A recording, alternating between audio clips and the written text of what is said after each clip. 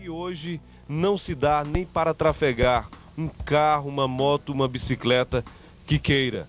Hoje está totalmente intrafegável, destruída a ladeira Doutor Bueno Banhos. E agora nós vamos passar a mostrar a vocês a atual situação dessa ladeira, como se encontra essa ladeira sem nenhuma manutenção, sem nenhuma conservação. Bueno Banhos, ladeira essa inaugurada há 30 anos atrás.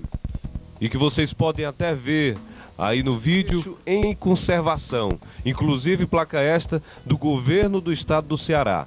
Mas você vai ver como está essa conservação. Será que foi feita essa conserva conservação? Essa é a conservação no que diz a placa que nós vimos no início da ladeira. É, inclusive, meus amigos, nesse ponto aqui só passam animais. Só somente as pessoas com seus animais que conseguem passar, pessoas que vêm e que vão descendo essa ladeira até o distrito da Lapa e vice-versa. Vamos conversar com pessoas que sempre trafegam por aqui e que, inclusive, conheceram quando essa ladeira foi inaugurada e que poderiam se passar carros e tinham uma ótima conservação. E hoje não tem nada disso. Como é seu nome? José Ferreira. Benedito José Ferreira. Você mora onde, Benedito? Aqui na Cinta, que era no terreno do final, não tem galvão. Seu Benedito, eu queria que você contasse um pouquinho quando, como era que ela foi quando, quando inaugurou em 1970. Bom, ela foi inaugurada pela através do Dr. Banho, homem muito popular.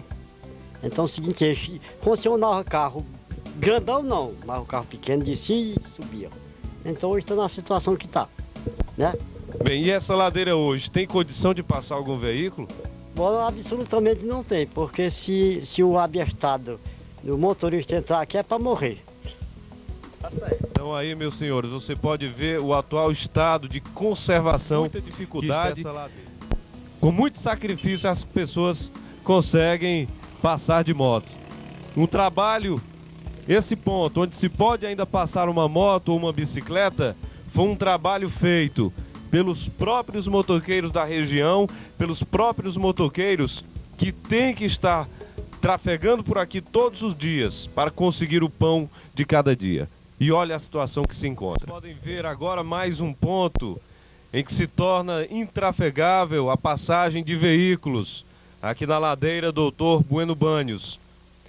E o que eu posso dizer a vocês é que vocês nós não estamos apenas falando, vocês estão vendo, nós estamos mostrando durante o tempo que passou ativa.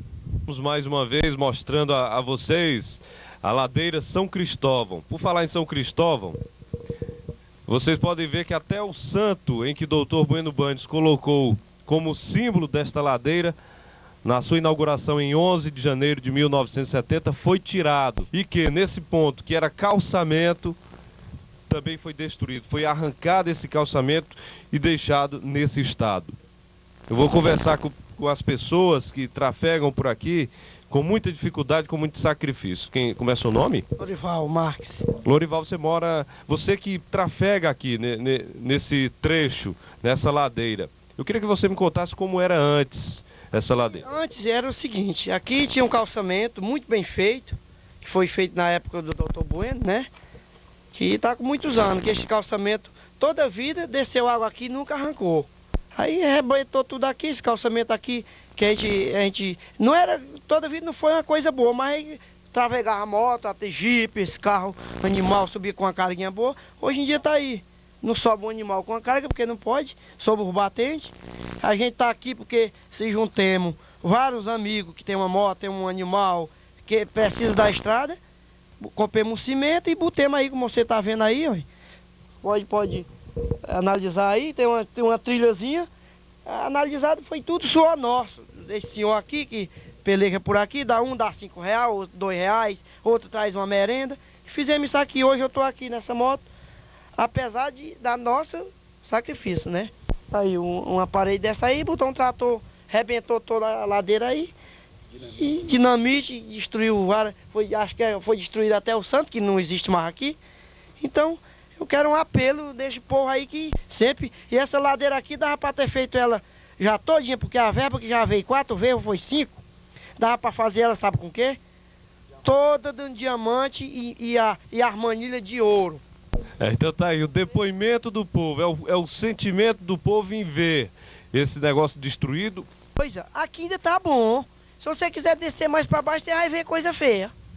E é depois do nosso calabreio que nós fizemos o máximo aqui. É muito mais de 70 dias de serviço nós temos aqui para passar um animal e um, um senhor deixa aí, tem um, tem um sítio aqui embaixo, eu, uma motinha dessa e não tem carteira, tem que seguir a trilha, mas foi apesar disso aí é que nós estamos aqui.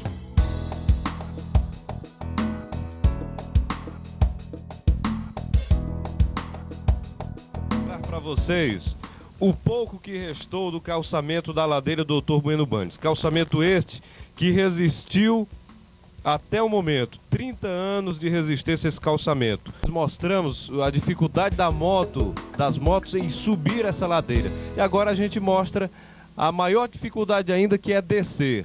Descer a ladeira Doutor Bueno Banhos. Vamos conversar com mais pessoas, mais trafegantes da ladeira Doutor Bueno Banhos. Como é seu nome? Roberto.